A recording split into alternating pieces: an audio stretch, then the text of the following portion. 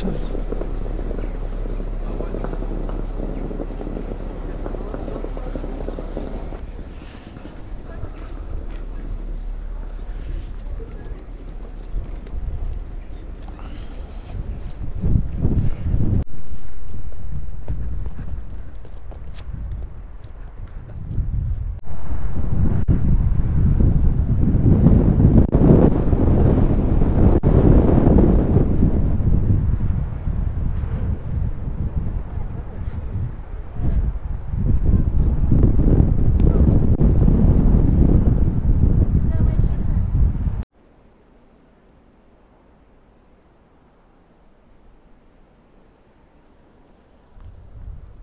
Bonjour à tous et bienvenue dans la petite ville de Sergei Posad.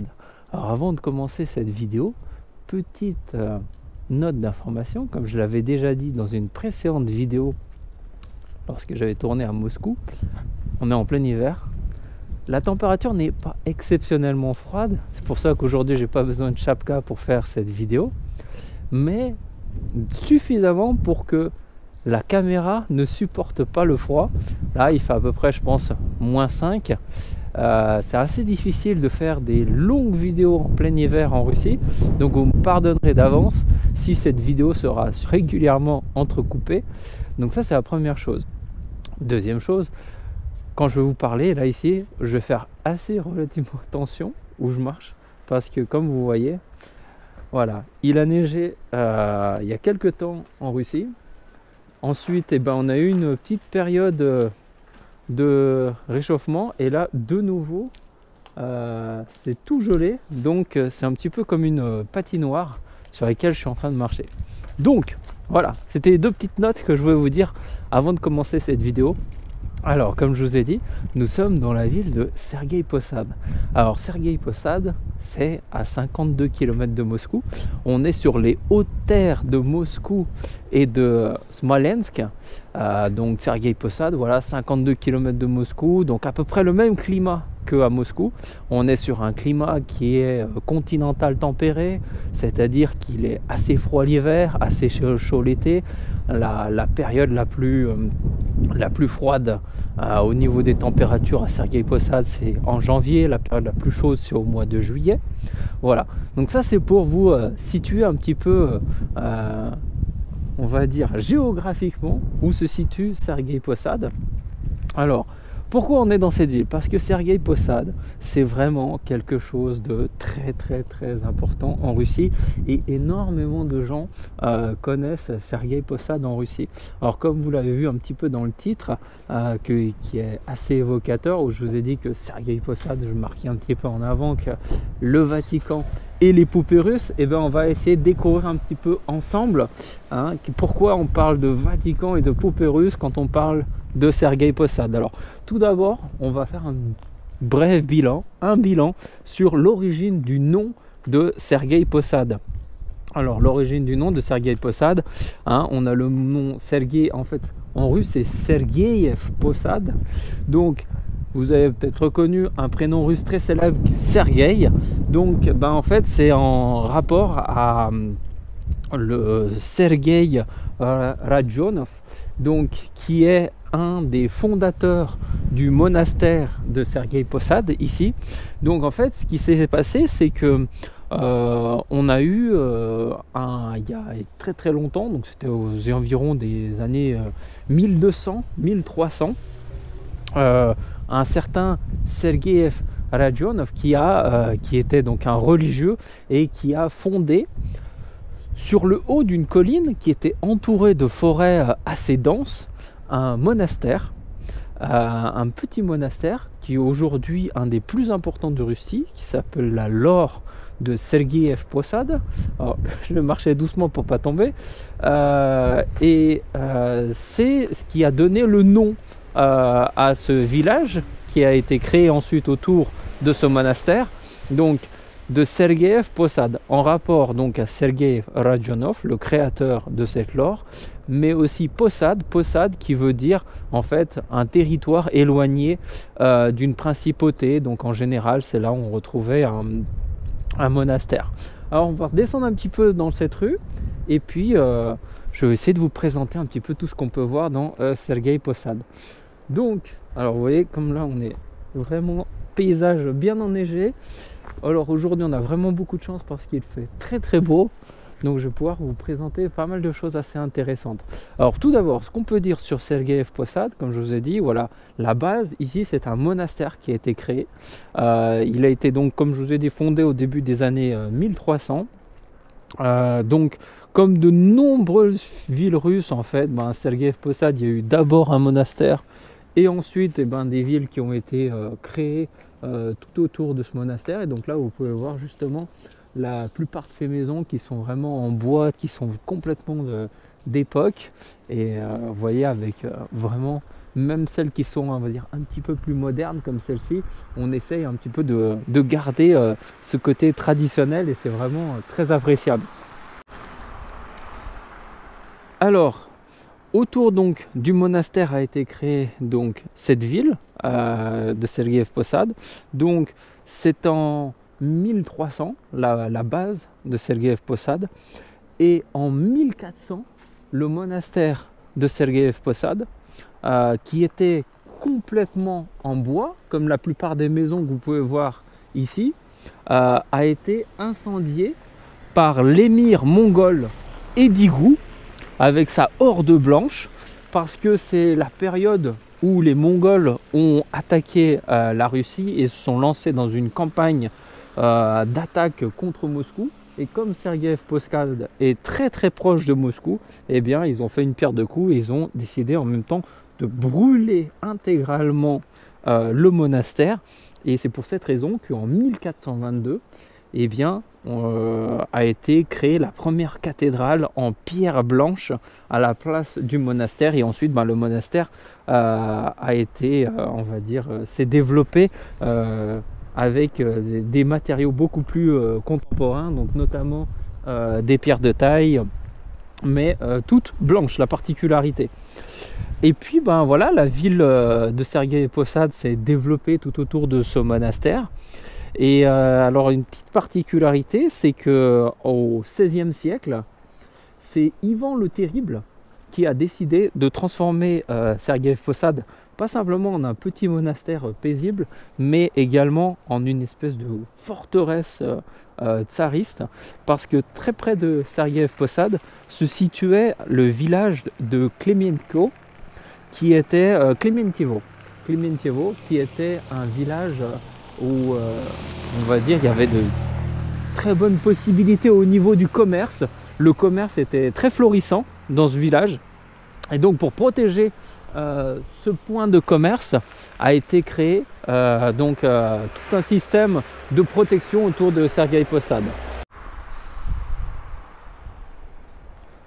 Voilà. Et puis, ben, à la suite donc des évolutions apportées par Ivan le Terrible pour renforcer la sécurité de Sergei Posad et des villages alentours, ben, la ville a continué encore un petit peu à se développer. Même les tsars qui ont suivi ont essayé de garder le côté, on va dire, un petit peu euh, euh, de forteresse pour, euh, pour protéger, pour faire comme un petit peu aussi un, poste qui servait de protection aussi par rapport à la ville de Moscou.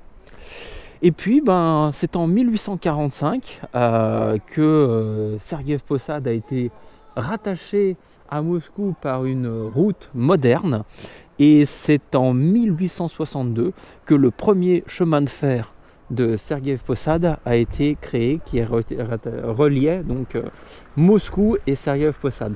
Donc là, on est en train d'avancer, là en même temps que je vous parle, euh, plus proche donc euh, du centre-ville. Donc vous avez dû voir un petit peu, un petit peu la différence par rapport aux, routes. Donc on va essayer de se retrouver un petit peu plus loin, dans un endroit un peu plus calme pour parler de la suite.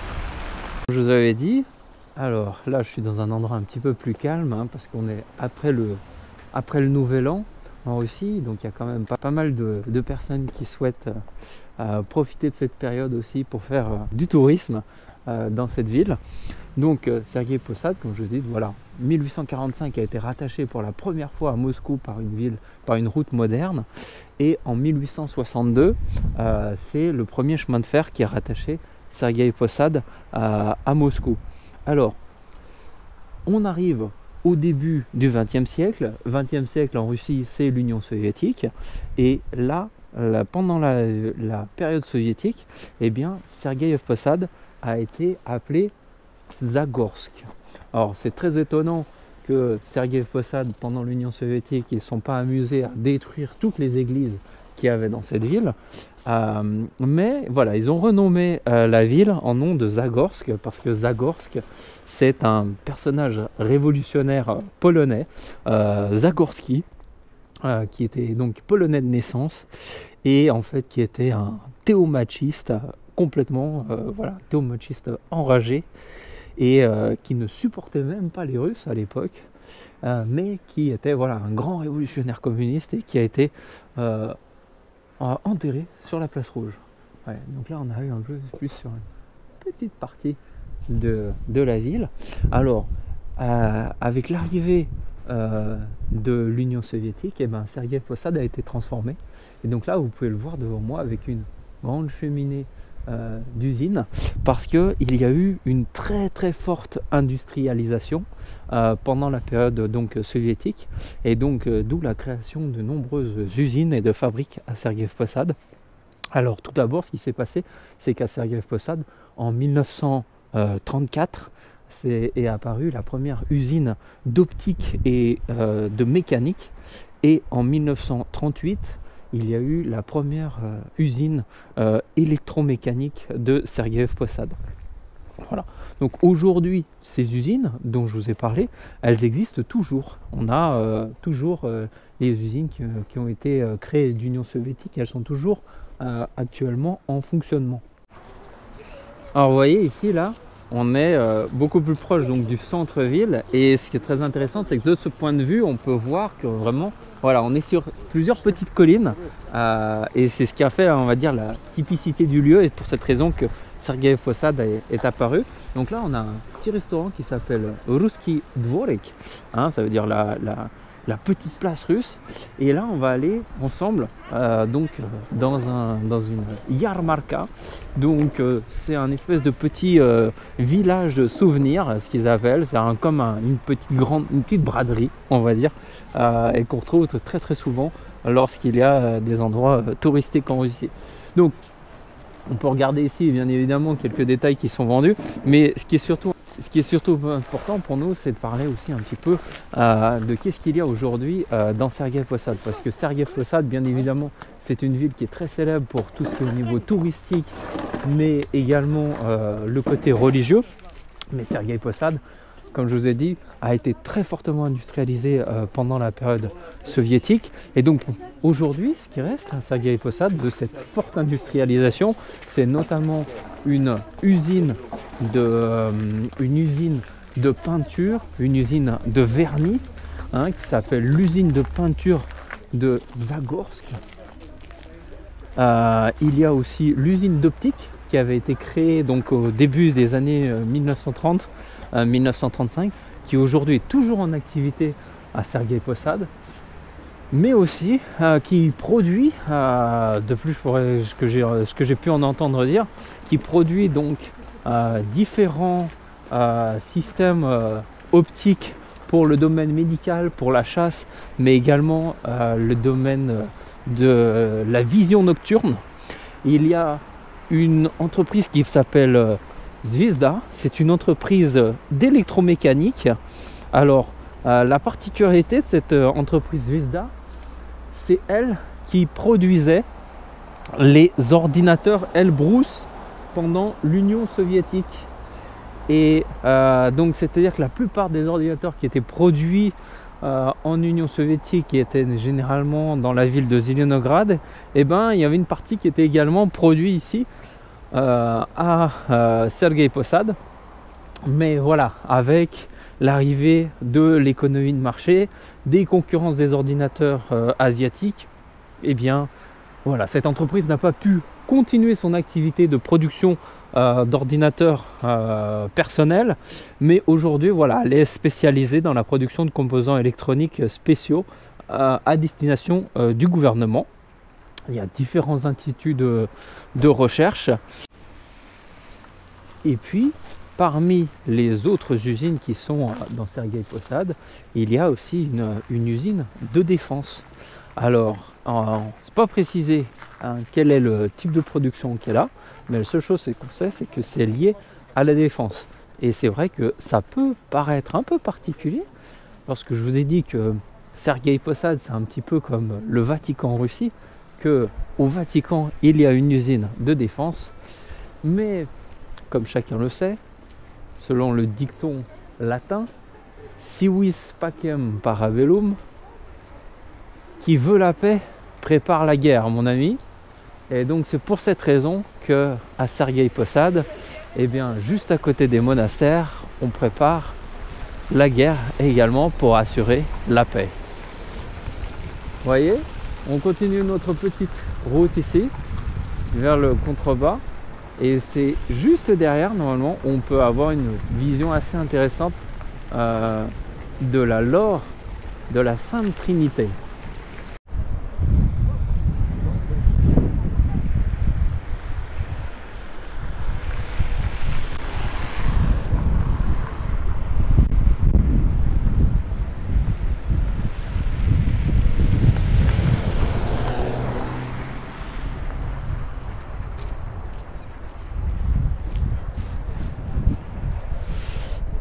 Donc vous voyez un petit peu en contrebas ici la lore de la Sainte Trinité de Sergei Posad.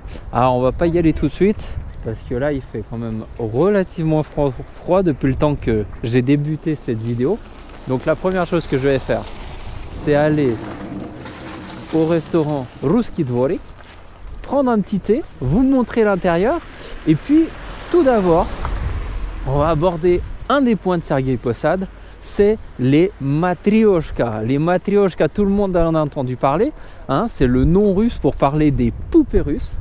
Alors, selon une version, euh, l'origine des matrioshka serait donc de Sergei Posad. Et quand vous venez ici à Sergei Posad, on peut trouver énormément de matrioshka. On a fait un tout petit tour tout à l'heure dans, dans la petite braderie là, le Yarmarka. Il y en avait quelques-unes. Mais ce qu'on va voir, c'est à l'entrée du restaurant euh, Ruski Dvorik, on a une énorme matrioshka. Et ce que j'ai bien compris apparemment, c'est qu'à l'intérieur du restaurant, il y a un petit coin qui est dédié complètement aux matrioshka. Et ici, la particularité, c'est que les matrioshkas sont faites à l'ancienne, c'est-à-dire gravées, sculptées, peintes complètement à la main avec les technologies d'antan. Donc on va essayer de voir ça tous ensemble. Donc voilà. Là ici, hop, on monte et on va retrouver donc le restaurant que je vous avais présenté tout à l'heure, Ruski Dvorik, avec à l'entrée une très très grande matrioshka, donc la fameuse poupée russe. Voyez? Alors, il existe toujours la production de matrioshka à Sergei Posad. Ça s'appelle, il y a une entreprise qui s'appelle OOO euh, Passad, Passadskaya euh, Matrioshka. Donc les matrioshka de Passad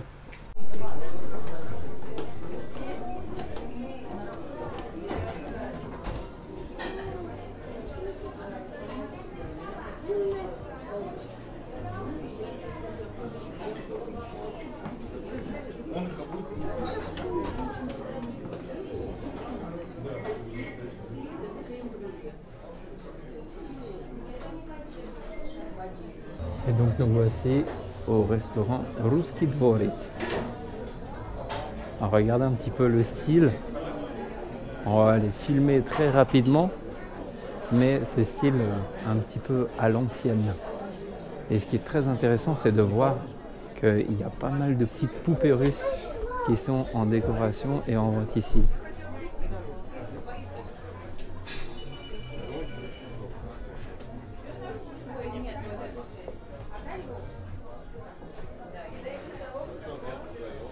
La Russie, c'est pas que des poupées russes, c'est aussi des petits, d'autres petits jouets en bois. Par exemple, notamment celui-là. Voilà. Ou encore cela. Voilà. Donc c'est ça une des particularités de Sergei Posad, c'est vraiment la ville des jouets. Et aujourd'hui, elle est toujours considérée pour beaucoup de Russes comme la capitale des jouets en bois de Russie. Et donc on a pas mal de fabriques qui, produisent donc ces jouets en bois. Mais voilà, la fabrique principale qui fait les, les poupées russes traditionnelles en bois, peintes à la main, sculptées à la main, donc c'est la société donc OOO Passadoshka Matryoshka, si je ne me trompe pas, au niveau du nom. Voilà, et on va aller voir un petit peu même euh, un, autre, autre atelier de production euh, de ces matryoshkas. Petit thé à la canneberge pour se réchauffer.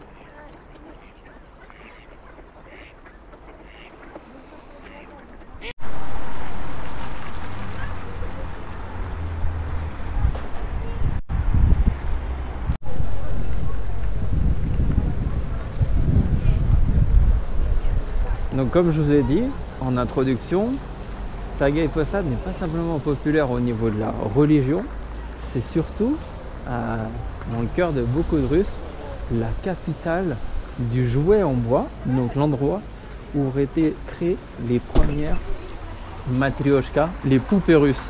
Et en fait, c'est pas très compliqué puisqu'il y a un café qui est ici, qui s'appelle le café Landau. Alors je vais essayer de vous le remontrer de l'extérieur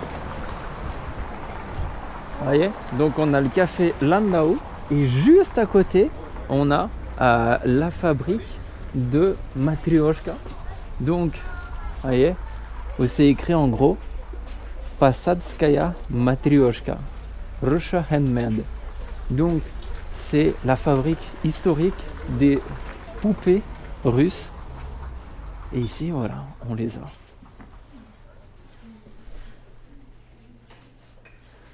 Donc c'est des poupées russes qui sont faites entièrement à la main. Donc le prix est assez élevé euh, pour la Russie, hein, pour certaines jusqu'à 3000 roubles encore. Et en fait, elles sont faites et peintes à la main ici. Donc ici, on va retrouver vraiment euh, tous les euh, types de poupées russes différentes avec différents styles. Voyez? Donc on connaît celle-ci qui est traditionnelle mais il y a aussi voilà, des plus petites en fait qui sont un peu plus rondes sur la base.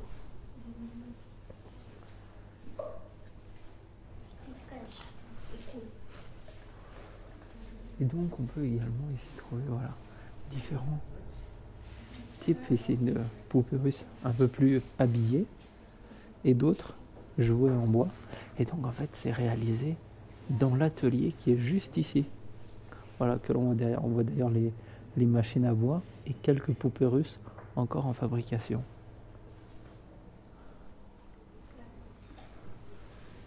Voilà. Donc si vous voulez acheter des vraies poupées russes, des vrais matryoshkas, eh bien il faut aller à Sergei Posad, donc à l'atelier, donc Pasatskaya Matryoshka.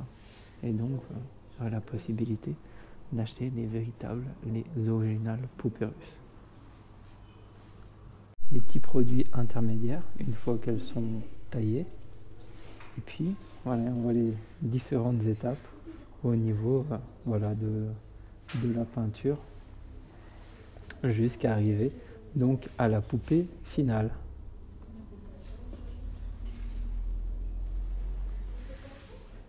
Voilà, donc de ce que j'ai entendu, c'est qu'il y a aussi des petites masterclass qui se font euh, ici pour pouvoir apprendre à dessiner sur les, sur les poupées russes.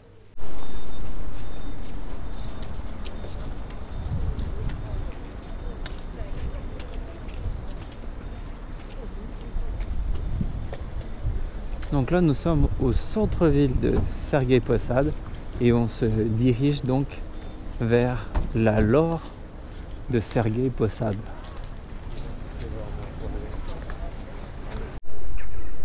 Voilà, donc on se retrouve vers l'entrée donc de la lore de Sergei Posad avec ici la statue du fondateur, donc Sergei Rajdionsky, donc le fondateur donc de la Lore et du premier monastère. Donc c'est le plus grand monastère euh, des d'hommes de la religion russe et de toute la Russie. Euh, donc ici, euh, c'est une lore. Donc une lore, c'est un, établissement monastique où les frères vivent la semaine comme des ermites complètement détachés du reste donc euh, des habitants de la ville de Sergei Posad, donc sur différents euh, bâtiments. Et donc comme je vous avais expliqué en introduction, le monastère que l'on voit aujourd'hui, qui est complètement en blanc avec ce rempart, eh bien euh, c'était entièrement en bois et il a été brûlé. Et c'est après justement cet énorme incendie qui a été créé, ce monastère en pierre blanche. Euh, c'était donc en 1422 et ces forts remparts qui ont été créés ont été introduits euh, sous la volonté de Ivan le Terrible. Et il faut savoir que ce monastère a pendant 16 euh, mois résisté aux attaques lituano-polonaises et il a servi de protection, euh, si je me rappelle bien, à un tsar qui était, je crois, Pierre Ier, euh, lorsqu'il y a eu même une tentative d'assassinat contre lui. Et eh bien en fait ça a été voilà, très souvent utilisé monastère, ce monastère comme une forteresse, comme je vous l'avais expliqué en un petit peu au début, pour euh, ben, protéger le tsar lors des attaques, lorsqu'il y a eu les temps troubles, etc. Ça a servi pour protéger la population. Et aujourd'hui, ben, ça, a repris un petit peu sa fonction d'origine, c'est-à-dire être un lieu euh, monastique euh, où euh, les 200 frères peuvent vivre en ermite le restant de la semaine.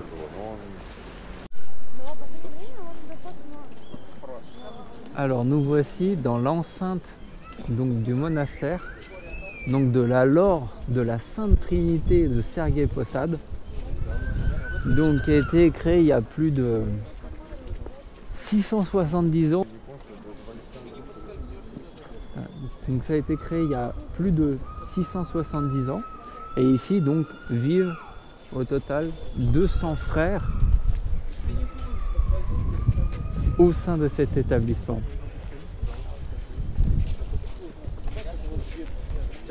Alors comme vous pouvez le voir, on est en période de fête, donc il y a pas mal de tourisme.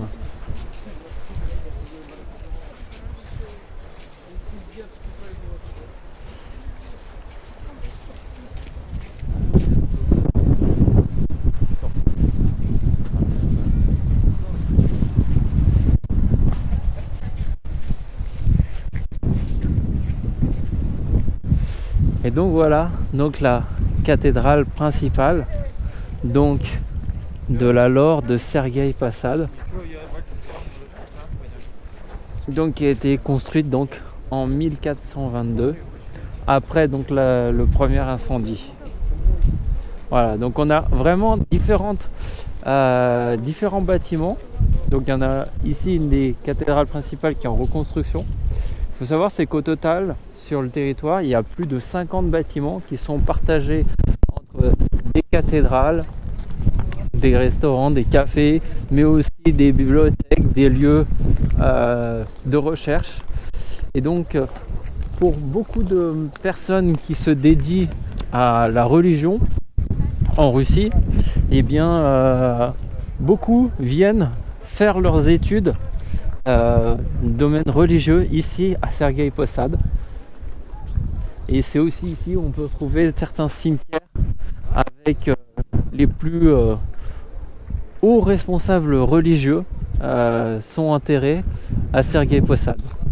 Donc on ne peut pas visiter l'intégralité du domaine, mais juste cette petite partie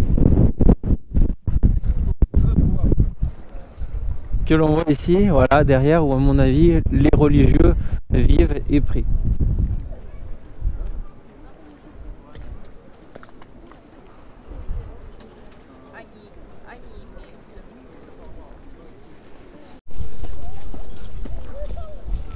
Alors comme on peut voir, il y a pas mal euh, d'églises qui sont actuellement en reconstruction. Il faut savoir que c'est quelque chose d'assez fréquent aussi puisque c'est des très vieux bâtiments et euh, les températures sont particulièrement dures. Mais au moins, voilà, vous aurez vu un petit peu à quoi ressemble en quelque sorte le, Vatican russe, euh, Sergei Posad. Voilà. Donc c'est vraiment un des centres religieux les plus importants et donc dont on voit d'ailleurs un frère qui vient de traverser devant nous. Allez, on va sortir et puis on va essayer de voir d'extérieur, avoir une vue beaucoup plus euh, globale sur cette lore et sur la ville de Sergei Posad.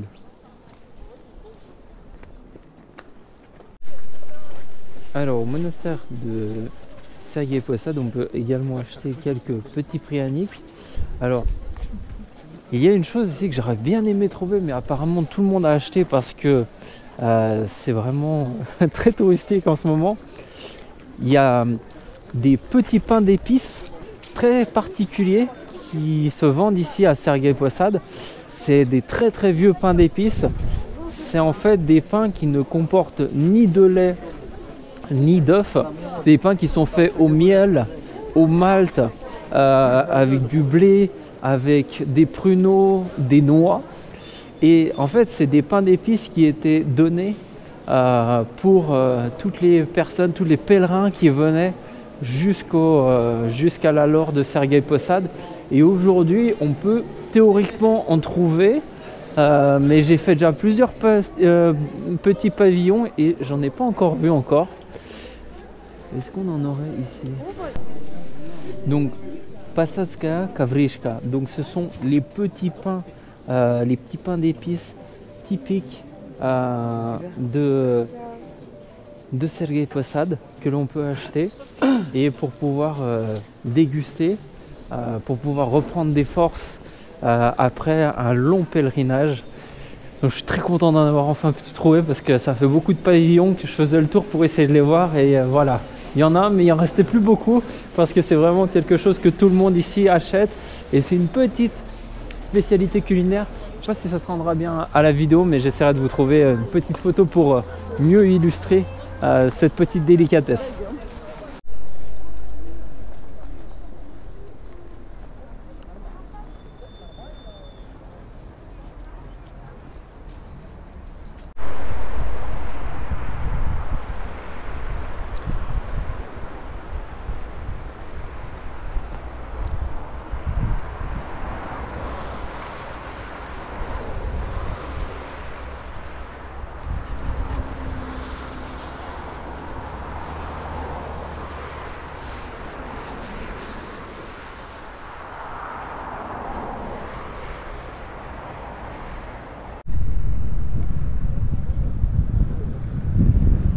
Donc on a ici une belle vue sur la lore de la Sainte Trinité de Sergei Posad.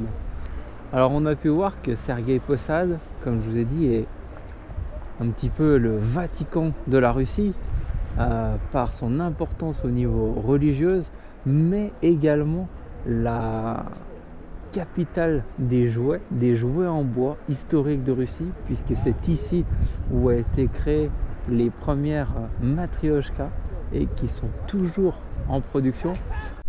Et cette ville de Sergei Posad, qui s'est un temps appelée Zarosk, pour être une ville industrielle et redevenir une ville religieuse, nous montre un petit peu quelque chose d'assez intéressant. Parce que actuellement, dans les sociétés euh, occidentales dans lesquelles nous vivons, on remarque que la plupart du temps, les gens ne comprennent pas la Russie, que ce soit les hommes politiques ou même les touristes, ils estiment que la Russie est un pays un petit peu à part. Parce que la Russie a connu des difficultés, a connu un changement politique profond avec l'arrivée du communisme, puis le retour à une société capitaliste. Mais il faut savoir, c'est une chose très importante, c'est que pendant la période de l'Union soviétique, la religion était bannie. On avait banni le spirituel. Et aujourd'hui, le spirituel est revenu en force parce qu'il y a eu cet échec euh, de la société dans laquelle la religion n'était pas tolérée. Et donc c'est ici, avec l'or de la Sainte Trinité de Sergei Posad, en toile de fond, que j'aimerais amener un petit sujet philosophique.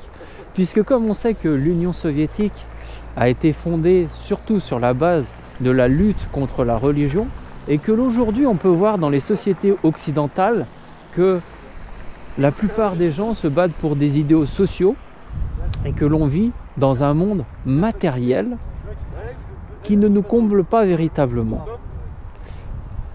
Car la modernité a fait croire aux êtres humains que la spiritualité était une valeur du passé.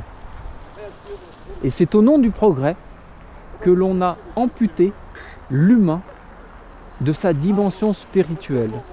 Et aujourd'hui, on est étonné de voir que l'homme moderne est partagé entre la dépression et l'hystérie.